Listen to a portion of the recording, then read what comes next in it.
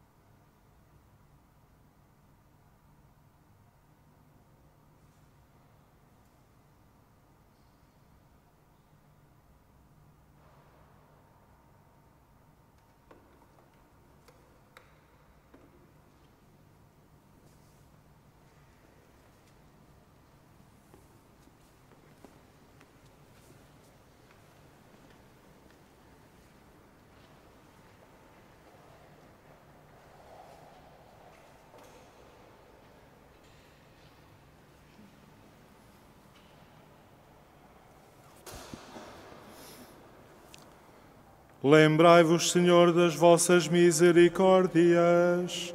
Santificai e protegei sempre os vossos servos, para os quais Jesus Cristo, vosso Filho, instituiu no seu sangue o mistério pascal. Ele que é Deus convosco, na unidade do Espírito Santo.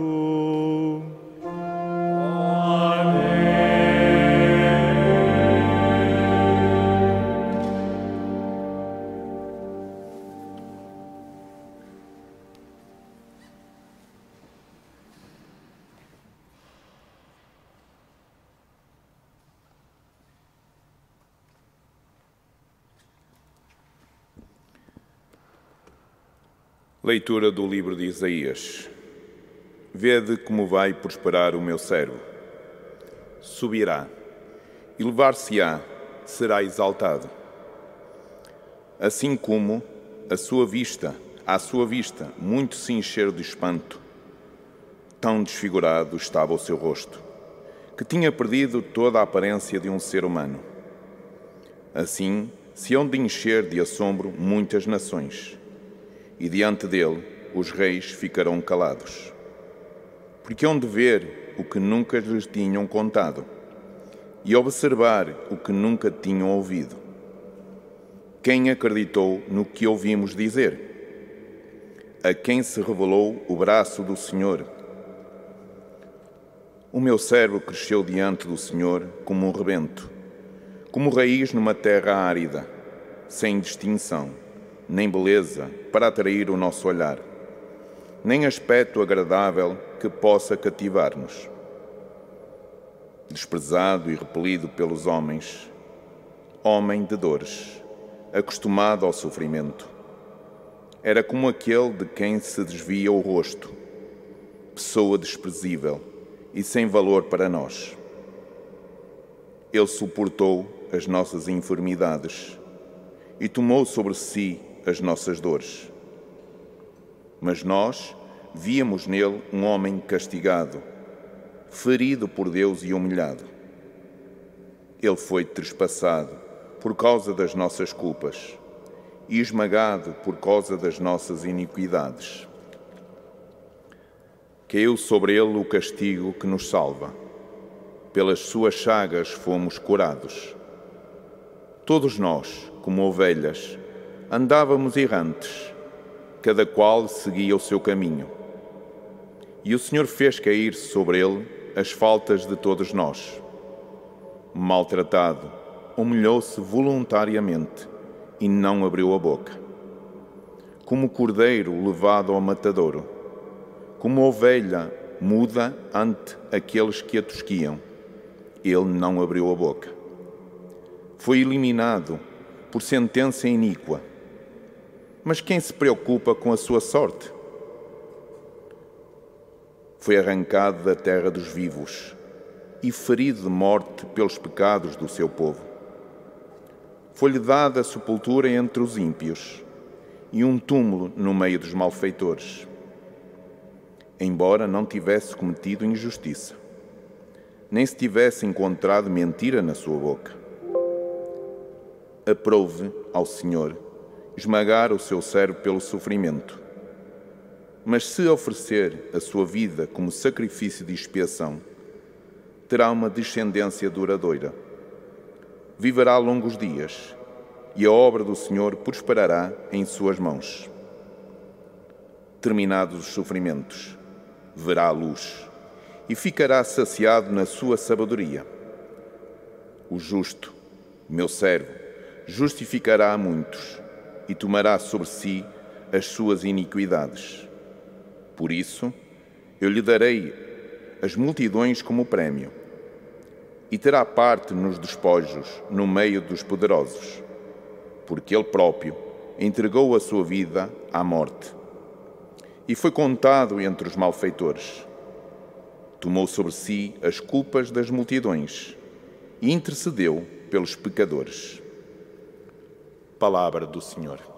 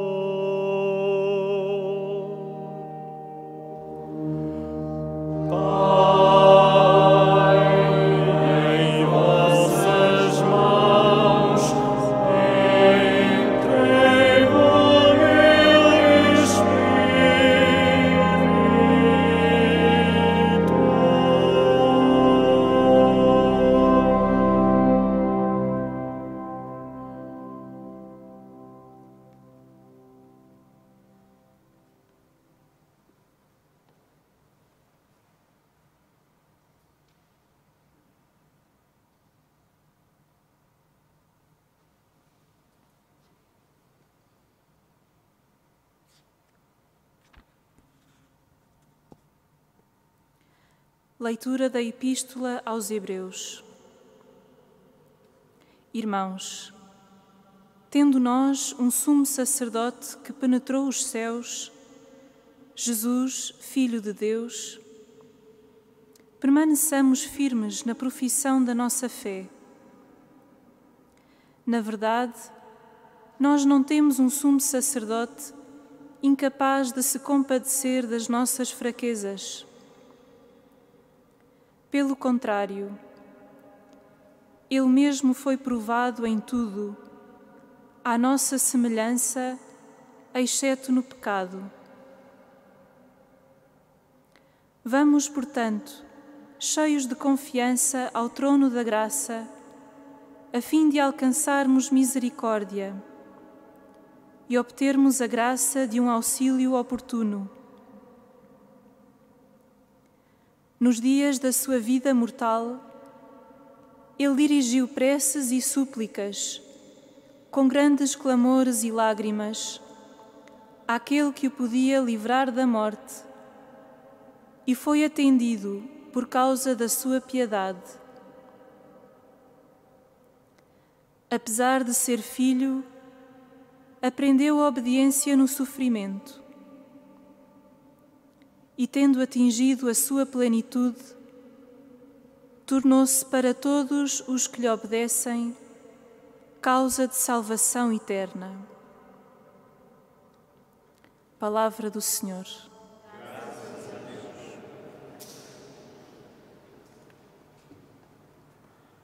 Vamos escutar agora a narração da paixão do Senhor segundo o Evangelho de João. Escutamos não só para recordar a história, mas para que a palavra deste acontecimento nos possa habitar. Depois de lidas as palavras do momento da morte de Jesus, os que puderem podem ajoelhar.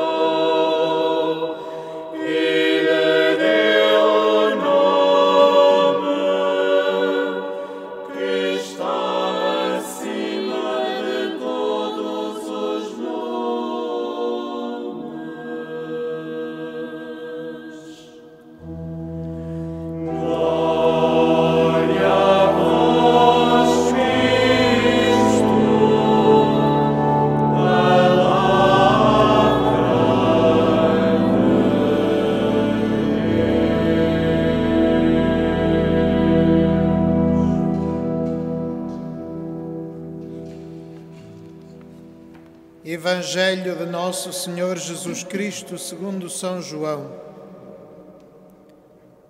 Naquele tempo, Jesus saiu com os seus discípulos para o outro lado da torrente do Cedron. Havia lá um jardim onde ele entrou com os seus discípulos. Judas, que o ia entregar, conhecia também o local, porque Jesus se reunira lá muitas vezes com os discípulos tomando consigo uma companhia de soldados e alguns guardas, enviados pelos príncipes dos sacerdotes e pelos fariseus, Judas chegou ali com archotes, lanternas e armas. Sabendo Jesus tudo o que lhe ia acontecer, adiantou-se e perguntou-lhes: A quem buscais? Eles responderam-lhe: A Jesus, o Nazareno. Jesus disse-lhes: Sou eu. Judas, que o ia entregar, também estava com eles. Quando Jesus lhes disse: Sou eu, recuaram e caíram por terra. Jesus perguntou-lhes novamente: A quem buscais? Eles responderam: A Jesus, o Nazareno. Disse-lhe Jesus: Já vos disse que sou eu. Por isso, se é a mim que buscais, deixai que estes se retirem. Assim se cumpriam as palavras que ele tinha dito: Daqueles que me deste, não perdi nenhum. Então Simão Pedro, que tinha uma espada, desembainhou-a e feriu um servo do sumo sacerdote, cortando-lhe a orelha direita. O servo chamava-se Malco. Mas Jesus disse a Pedro: Mete a tua espada na bainha. Não hei de beber o cálice que meu pai me deu? Então a companhia de soldados, o oficial e os guardas dos judeus apoderaram-se de Jesus e maniataram-no.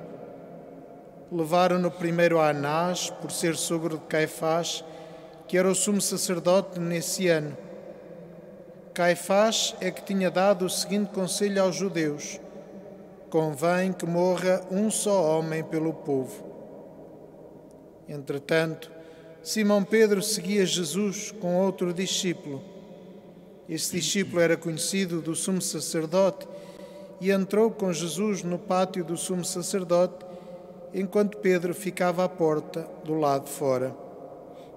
Então o outro discípulo, conhecido do sumo sacerdote, falou à porteira e levou Pedro para dentro. A porteira disse a Pedro: Tu não és um dos discípulos desse homem? Ele respondeu: Não sou. Estavam ali presentes os servos e os guardas que, por causa do frio, tinham acendido um braseiro e se aqueciam.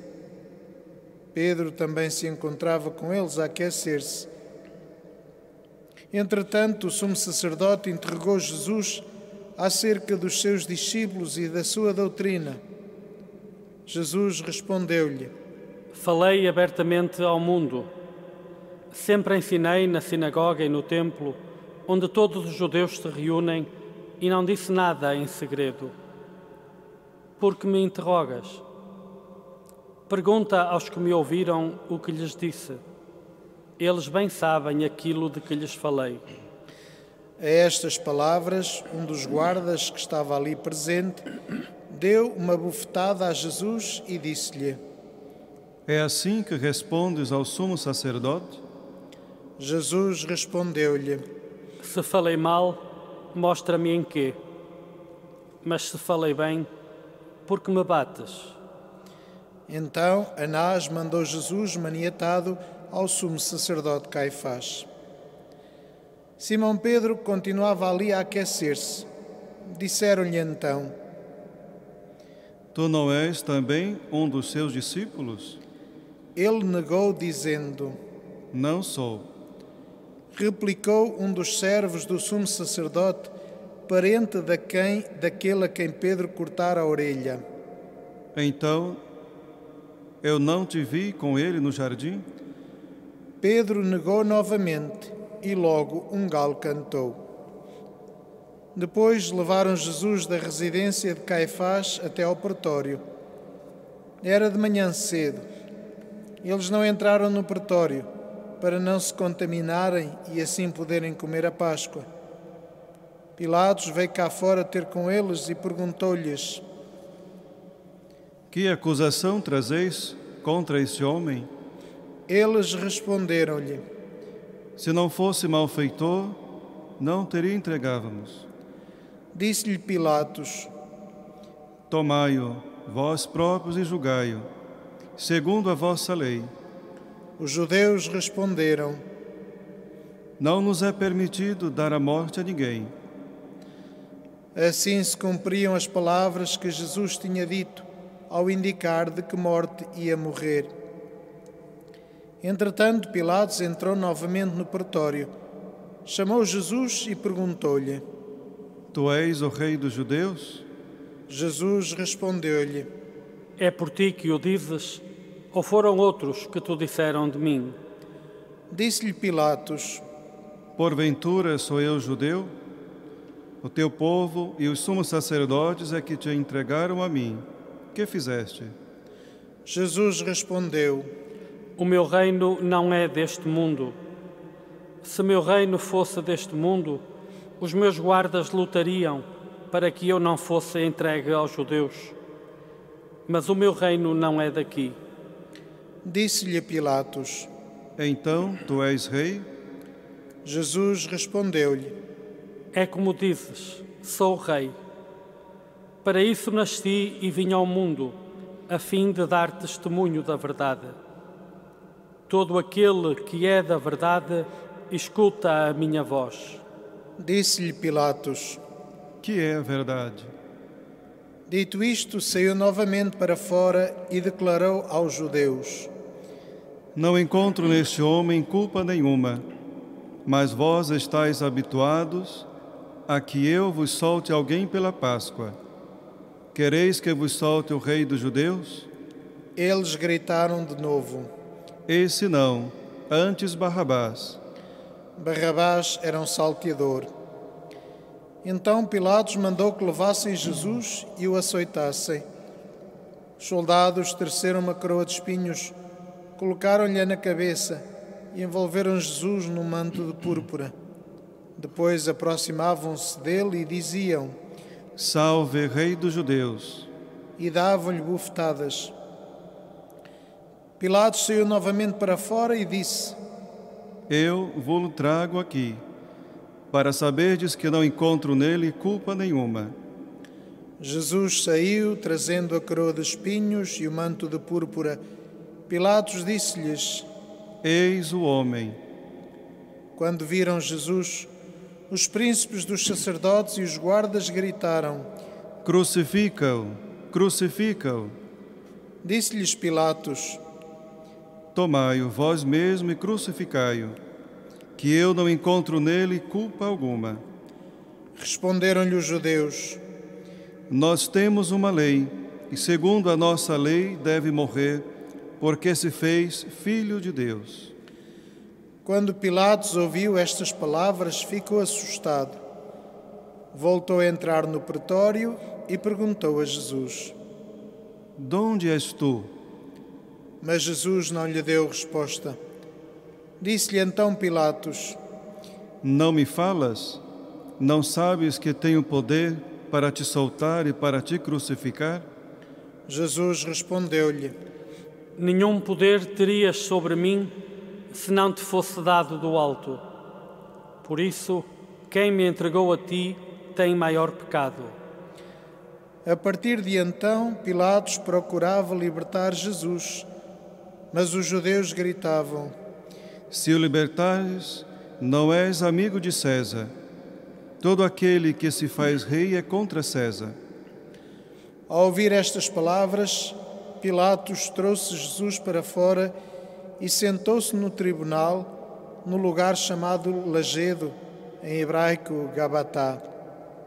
Era a preparação da Páscoa por volta do meio-dia. Disse então aos judeus: Eis o vosso rei. Mas eles gritaram: À morte, à morte, crucificam. Disse-lhes Pilatos: Hei de crucificar o vosso rei? Replicaram-lhe os príncipes dos sacerdotes: Não temos outro rei senão César. Entregou-lhes então Jesus para ser crucificado, e eles apoderaram-se de Jesus. Levando a cruz, Jesus saiu para o chamado lugar do Calvário, que em hebraico se diz Gólgota. Ali o crucificaram, e com ele mais dois, um de cada lado e Jesus no meio. Pilatos escreveu ainda um letreiro e colocou-o no alto da cruz. Nele estava escrito: Jesus, o Nazareno, Rei dos Judeus. Muitos judeus leram esse letreiro, porque o lugar onde Jesus tinha sido crucificado era perto da cidade. Estava escrito em hebraico, grego e latim. Dizem então a Pilatos os príncipes dos sacerdotes dos judeus: Não escrevas Rei dos Judeus, mas que ele afirmou: Eu sou Rei dos Judeus. Pilatos retorquiu: O que escrevi está escrito. Quando crucificaram Jesus, os soldados tomaram as suas vestes, das quais fizeram quatro lotes, um para cada soldado e ficaram também com a túnica.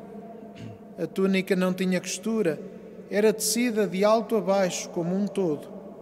Disseram uns aos outros: Não a rasguemos, mas lancemos sortes, para ver de quem será. Assim se cumpria a Escritura. Repartiram entre si as minhas vestes e deitaram sortes sobre a minha túnica. Foi o que fizeram os soldados. Estava junto à cruz de Jesus a sua mãe, a irmã de sua mãe, Maria, mulher de Cleofas, e Maria Madalena. Ao ver a sua mãe e o discípulo predileto, Jesus disse à sua mãe: Mulher, eis o teu filho. Depois disse ao discípulo: Eis a tua mãe. E a partir daquela hora, o discípulo recebeu em sua casa. Depois, sabendo que tudo estava consumado, e para que se cumprisse a Escritura, Jesus disse: Tenho sede. Estava ali um vaso cheio de vinagre. Prenderam uma vara, uma esposa embebida em vinagre e levaram-lhe à boca. Quando Jesus tomou o vinagre, exclamou: Tudo está consumado. E, inclinando a cabeça, expirou.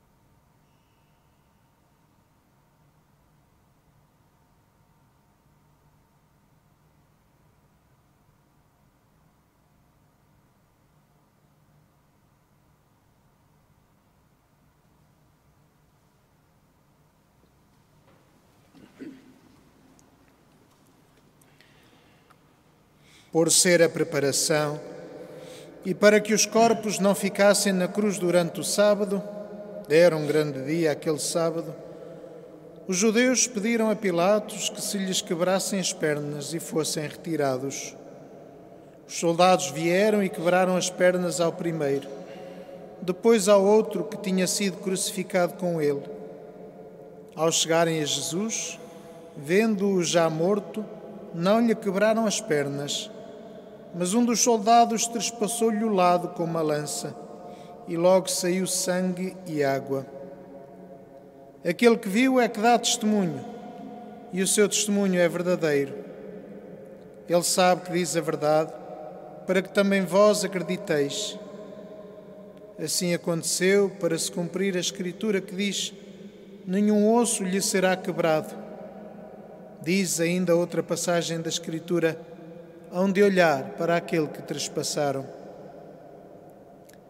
Depois disto, José de Arimateia, que era discípulo de Jesus, embora oculto por medo dos judeus, pediu licença a Pilatos para levar o corpo de Jesus. Pilatos permitiu-lhe. José veio então tirar o corpo de Jesus. Veio também Nicodemos, aquele que antes tinha ido de noite ao encontro de Jesus. Trazia uma mistura de quase cem libras de mirra e aloés. Tomaram o corpo de Jesus e envolveram-no em ligaduras, juntamente com os perfumes, como é costume sepultar entre os judeus. No lugar onde Jesus tinha sido crucificado, havia um jardim, e no jardim um sepulcro novo, no qual ainda ninguém fora sepultado. Foi aí que, por causa da preparação dos judeus, porque o sepulcro ficava perto, depositaram Jesus. Palavra da salvação. Glória a vós, Senhor.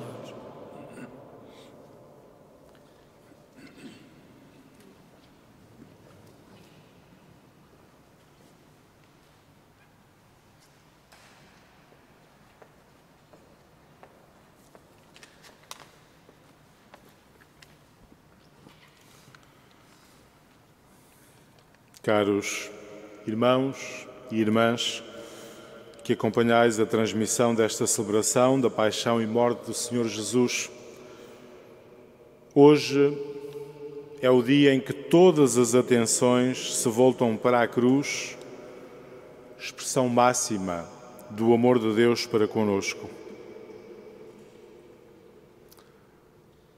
Porque com linguagens diversas, a palavra de Deus agora proclamada nos assegurava que foi por nós e para nossa salvação que Jesus Cristo deu a sua vida na cruz. Este dia é dia de silêncio orante e de contemplação agradecida.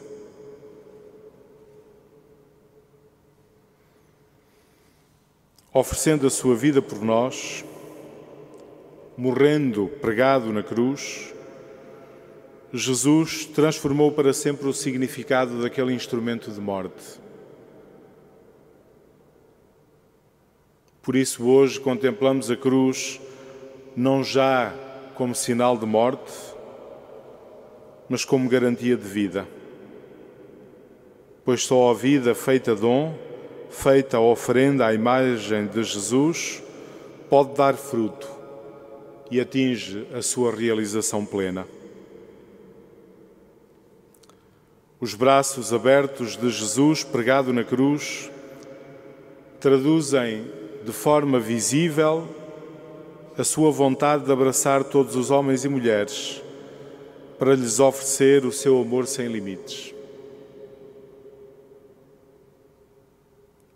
Foi isso que o Papa Francisco nos recordou no passado dia 27 de março, naquele significativo momento de oração em tempo de pandemia, dizendo-nos que não podemos perder a esperança porque Jesus Cristo nunca nos abandona. E o Papa dizia: temos uma âncora, na cruz de Cristo fomos salvos. Temos um leme, na sua cruz fomos resgatados. Temos uma esperança.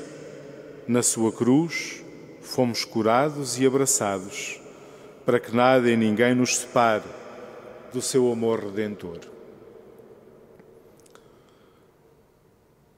Celebrar a paixão e morte do Senhor em tempo de pandemia é reconhecer a presença de Jesus Cristo junto de nós. Neste momento difícil, como nossa âncora, como nosso leme, como nossa esperança. É reconhecer a Sua presença junto de todos os que sofrem hoje.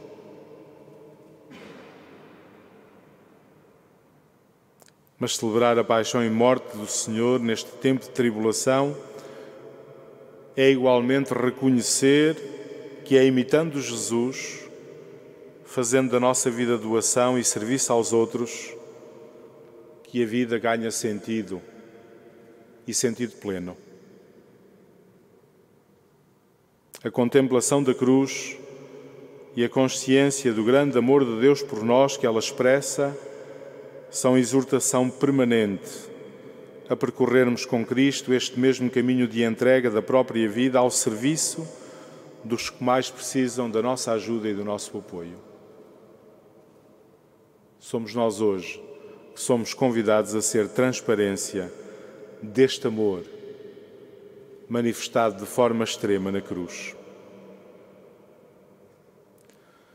Caros irmãos e irmãs, em atitude de adoração e gratidão, contemplemos a cruz de Cristo, e deixemos-nos desafiar pelo exemplo de Jesus, fazendo da nossa vida uma oferta a Deus e aos outros, pois só a vida entregue por amor é vida com sentido, é vida que se realiza e que se cumpre à imagem da vida de Jesus.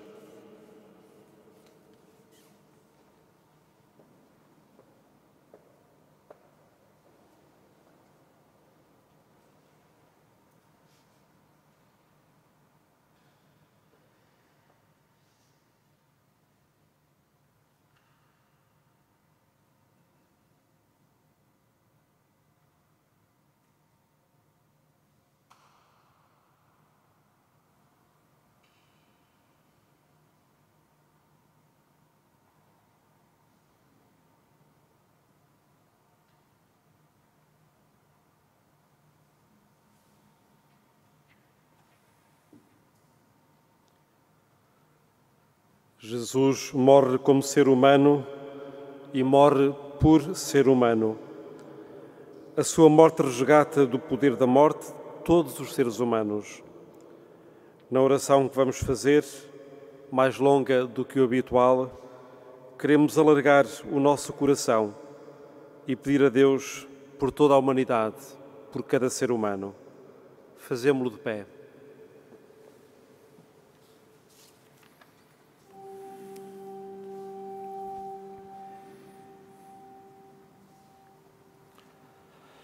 Oremos, irmãos caríssimos, pela Santa Igreja de Deus, para que o Senhor lhe dê a paz, a confirme na unidade e a proteja em toda a terra, e a todos nós conceda uma vida calma e tranquila para a glória de Deus Pai Todo-Poderoso.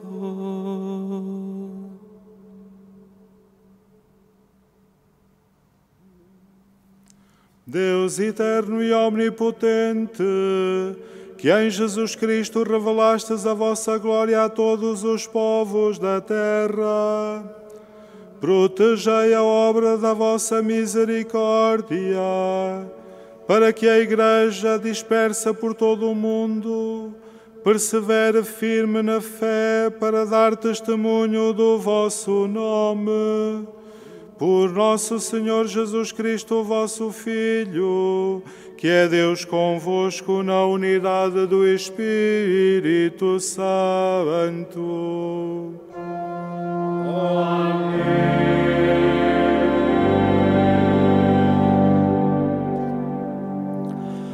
Oremos pelo nosso Santo Padre, o Papa Francisco, para que Deus Nosso Senhor, que o elevou ao episcopado, o conserve e defenda na sua Igreja, para governar o povo santo de Deus.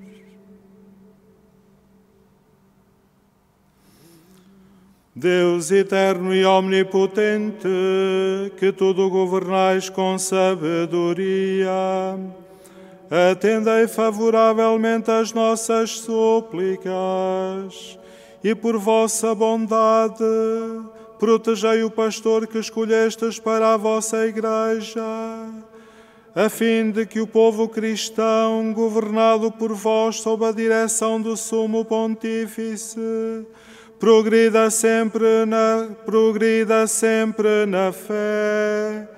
Por nosso Senhor Jesus Cristo, vosso Filho, que é Deus convosco na unidade do Espírito Santo. Amém.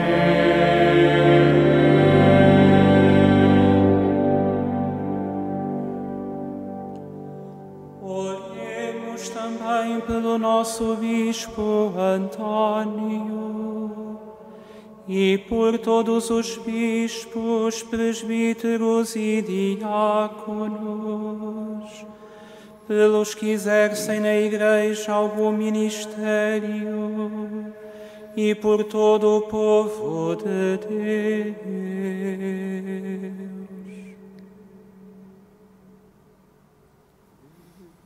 Deus eterno e omnipotente, cujo Espírito santifica e governa todo o corpo da Igreja. Ouvi as súplicas que vos dirigimos por todos os membros da comunidade cristã e fazei que, ajudados pela vossa graça, todos vos sirvam com fidelidade.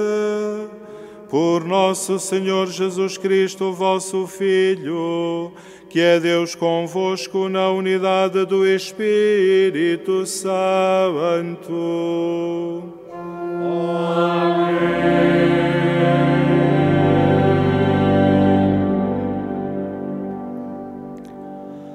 Oremos também pelos catecúmenos, para que Deus Nosso Senhor os ilumine interiormente e lhes abra as portas da sua misericórdia de modo que, recebendo o perdão de todos os pecados, pela água regeneradora do batismo, sejam incorporados em Jesus Cristo, nosso Senhor.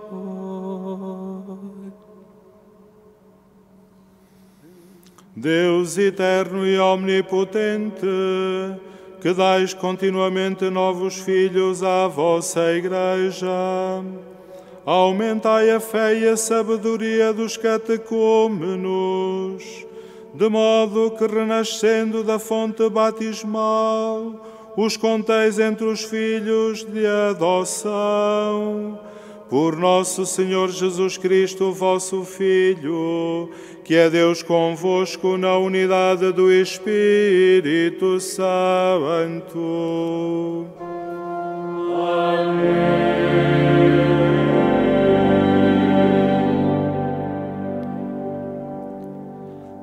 Oremos por todos os nossos irmãos que creem em Cristo para que Deus Nosso Senhor lhes dê a graça de viverem a verdade em suas obras e os reúna e guarde na unidade da sua Igreja.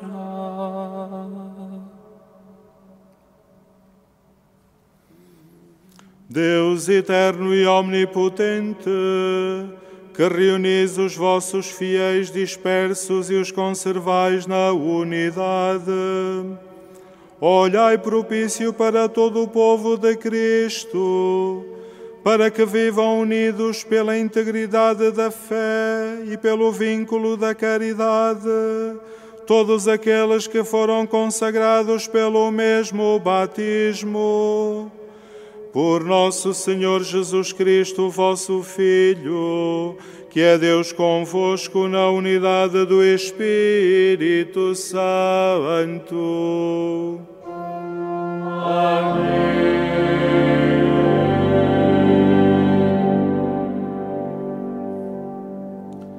Oremos também pelo povo judeu para que Deus Nosso Senhor, que falou aos seus pais pelos antigos profetas, o faça progredir no amor do seu nome e na fidelidade à sua aliança.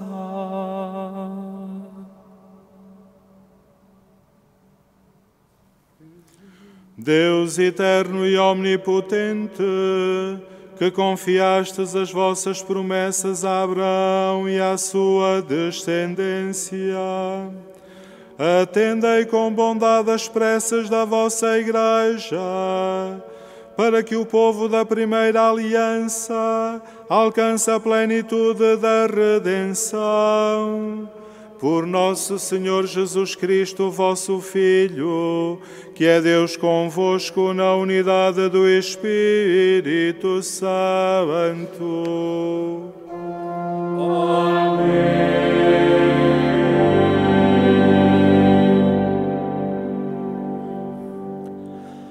Oremos também pelos que não creem em Cristo para que, iluminados pelo Espírito Santo, possam também eles encontrar o caminho da salvação.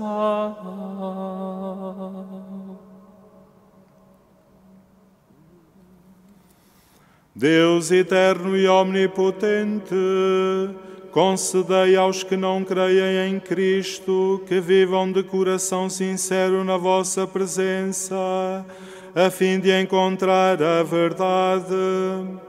E a nós, vossos filhos, concedei também a graça de entrar profundamente no mistério de Cristo e de o viver fielmente para darmos ao mundo o testemunho perfeito do vosso amor. Por nosso Senhor Jesus Cristo, vosso Filho, que é Deus convosco na unidade do Espírito Santo.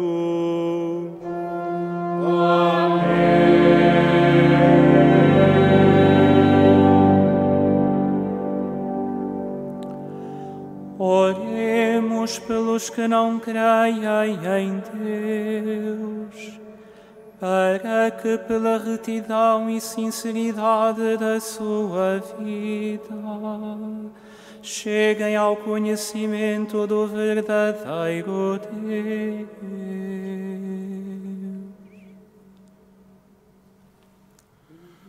Deus eterno e omnipotente, que criastes os homens para que vos procurem, de modo que só em vós descanse o seu coração. Concedei-lhes que no meio das dificuldades, com, compreendendo os sinais do vosso amor e o testemunho dos crentes, todos se alegrem de vos reconhecer como o único Deus verdadeiro e Pai de todos os homens, por nosso Senhor Jesus Cristo, vosso Filho, que é Deus convosco na unidade do Espírito Santo. Amém.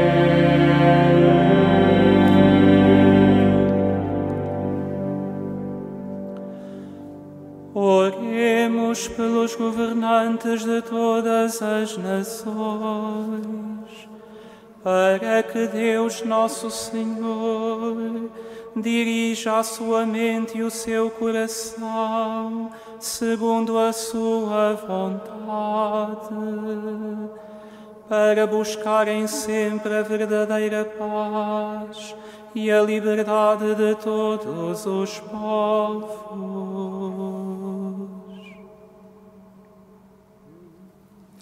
Deus eterno e omnipotente, que tendes nas mãos o destino de todos os homens e os direitos de todos os povos, assisti os nossos governantes, para que com o vosso auxílio se fortaleça em toda a terra a prosperidade das nações, a segurança da paz e a liberdade religiosa.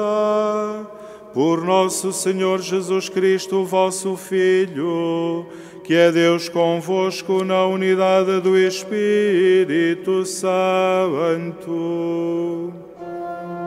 Amém.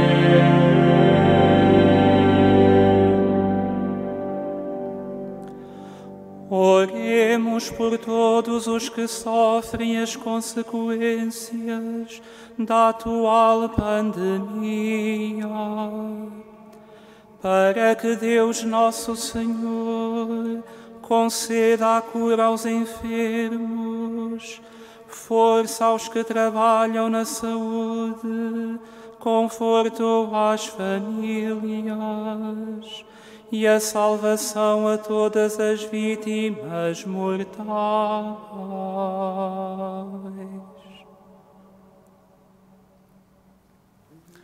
Deus eterno e omnipotente, único refúgio daqueles que sofrem, Ouvi benignamente a aflição dos vossos filhos que sofrem esta pandemia.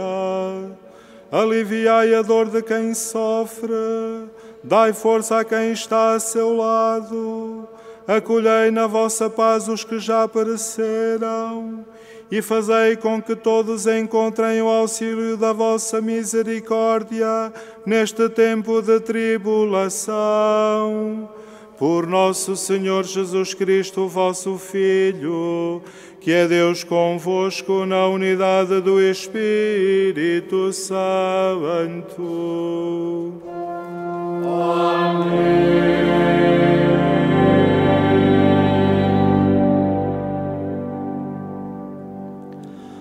Oremos, irmãos, a Deus Pai Todo-Poderoso para que livre o mundo de todos os erros, afaste as doenças e a fome em toda a terra.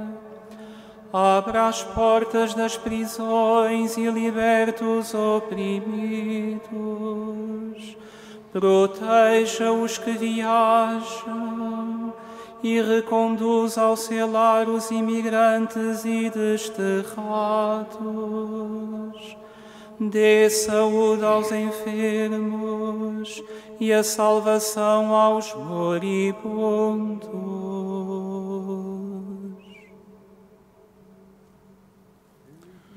Deus eterno e omnipotente, consolação dos tristes e fortaleza dos que sofrem.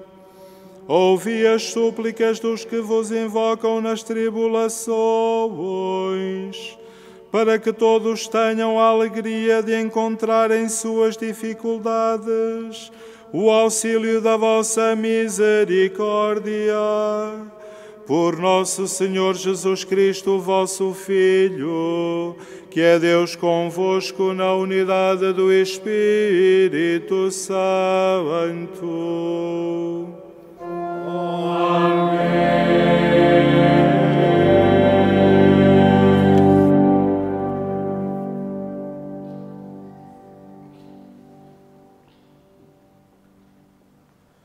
Vai ser feita a apresentação solene da cruz será progressivamente descoberta para nos recordar que nela se esconde um mistério que não é evidente ao olhar humano.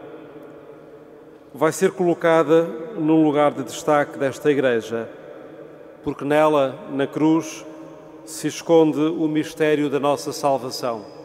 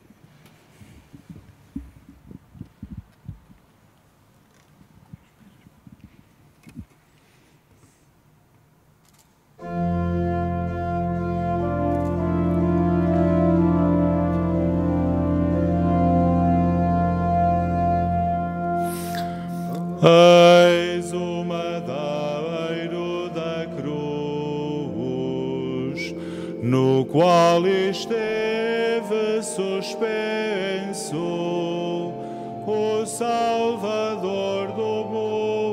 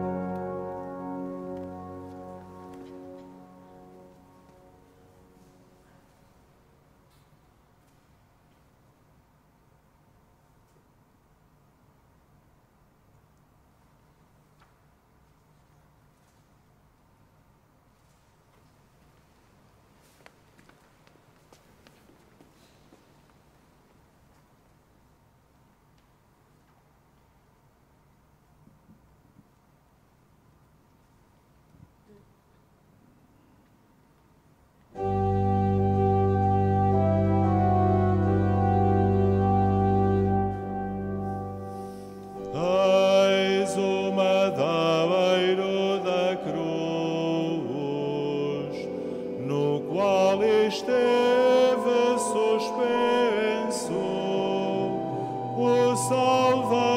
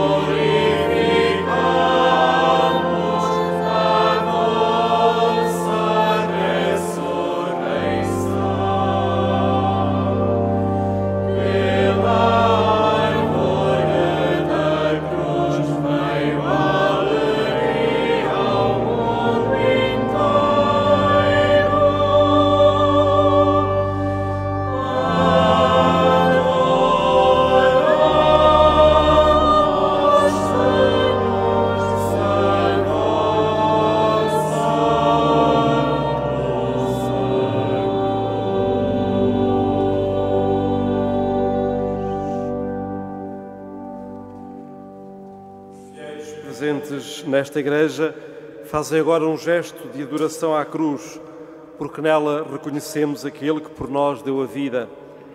As palavras que vão ser cantadas salientam que a cruz resulta da rejeição de Deus pelo seu povo. E, no entanto, o amor de Deus é mais forte do que essa rejeição e do que a própria morte.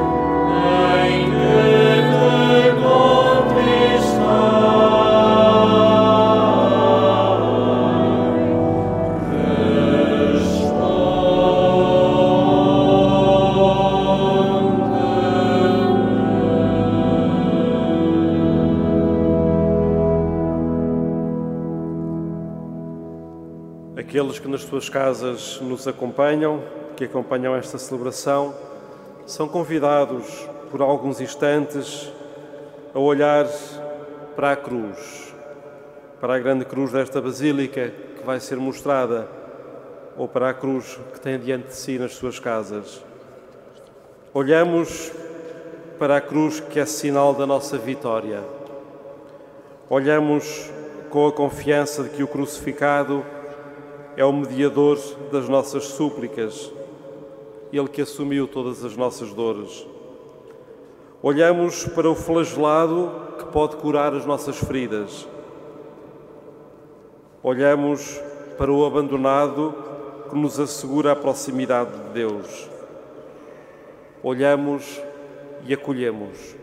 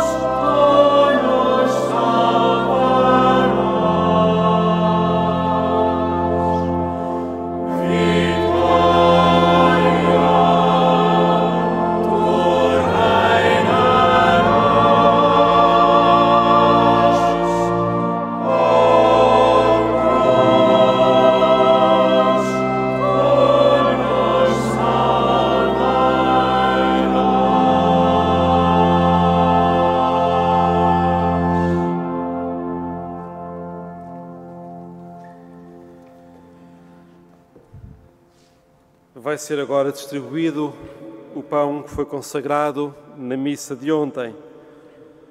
Aqueles que em casa estão privados da comunhão eucarística, a Igreja recorda na sua doutrina que não lhes faltará a graça do Redentor se estiverem animados intimamente pelo desejo do sacramento e se unidos na oração com toda a Igreja, invocarem o Senhor e levando para Ele os próprios corações. Mediante o desejo do sacramento, recebem os frutos da Eucaristia.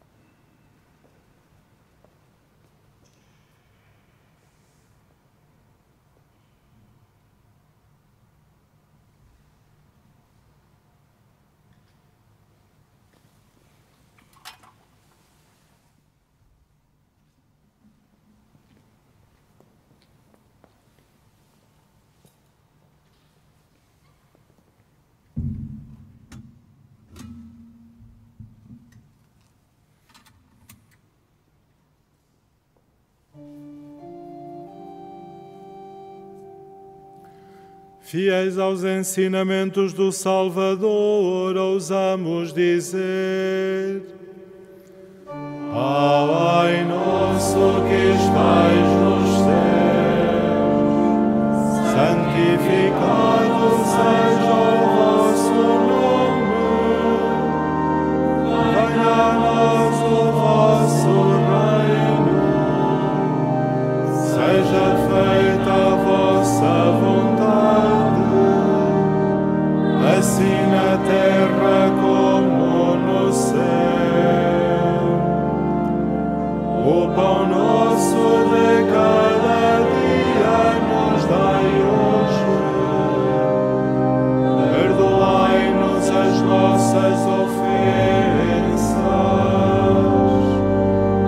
assim como nós perdoamos a quem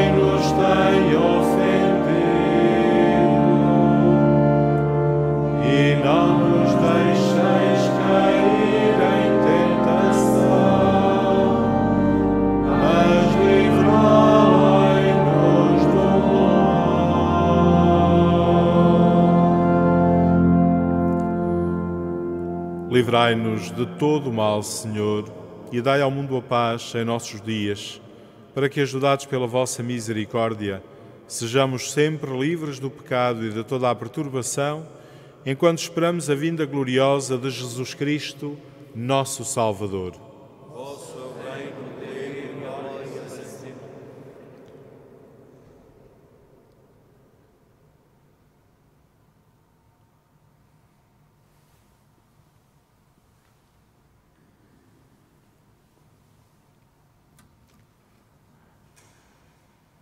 Felizes os convidados para a ceia do Senhor. Eis o Cordeiro de Deus que tira o pecado do mundo. Senhor, eu não sou digno que entreis em minha morada, mas dizer uma palavra e serei salvo.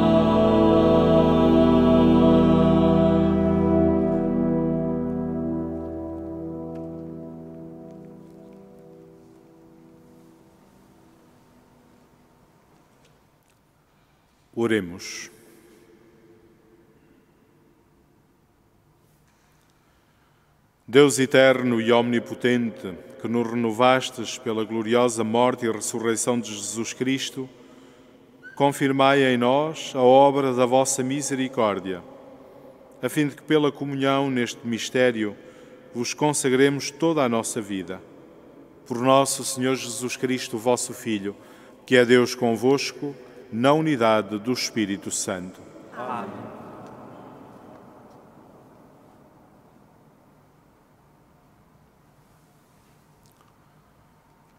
Derramai, Senhor, a vossa bênção sobre este povo que celebrou a morte do vosso Filho na esperança da sua ressurreição. Concedei-lhe o perdão e o conforto, aumentai a sua fé e confirmai-o na esperança da salvação eterna por nosso Senhor Jesus Cristo, vosso Filho, que é Deus convosco, na unidade do Espírito Santo. Amém.